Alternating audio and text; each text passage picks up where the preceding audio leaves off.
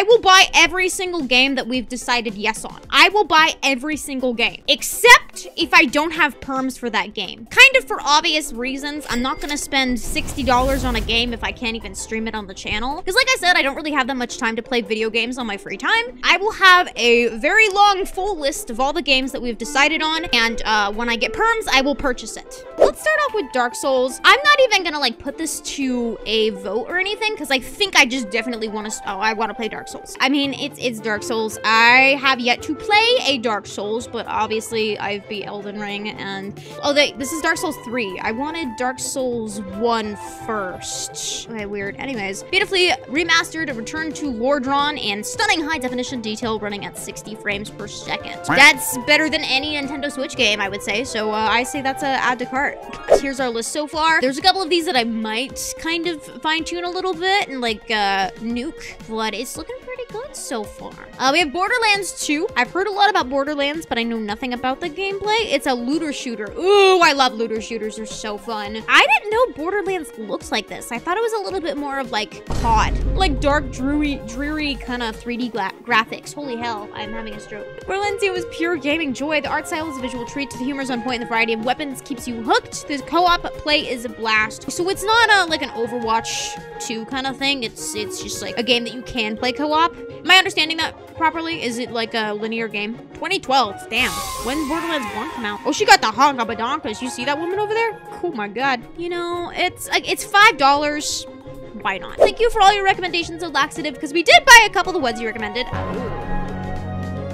Guys, what's in it for me? Content, content, content. Chat, chat. I have gigantophobia, which essentially means this game would literally make me poop myself. I am absolutely terrified. That scares me. That image there scares me. We have the sequels perms because I got them. Are you psychopath? You goddamn psychopath. Wait, but on the game form, it says it's still pending, Scion.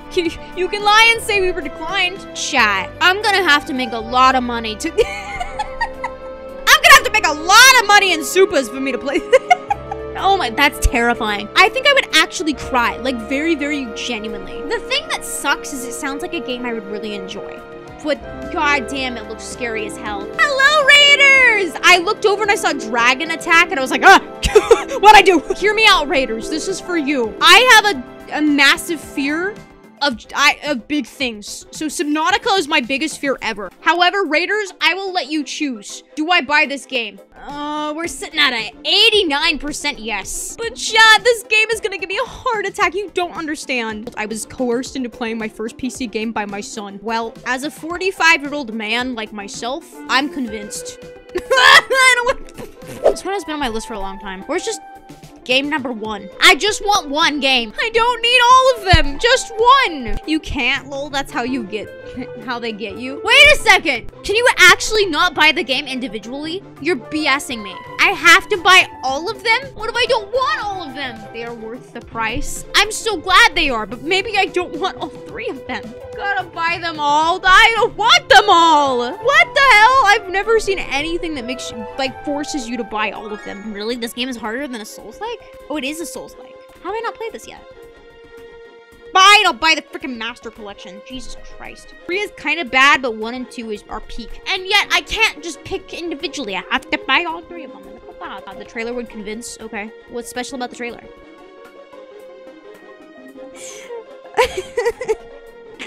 They slapped the Souls like tag on everything.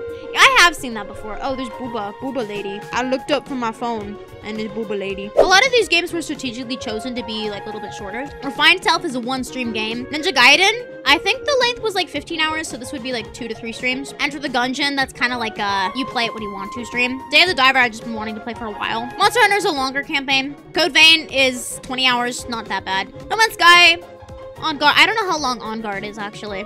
Inscryption is a shorter game. It's like two streams. Subnautica is a one-off stream unless I am not terrified by the game. Sumire is only a couple hours. These are most of these are like one-off kind of games, if that makes sense. Chat. My wall is crying a little bit, but it's fine.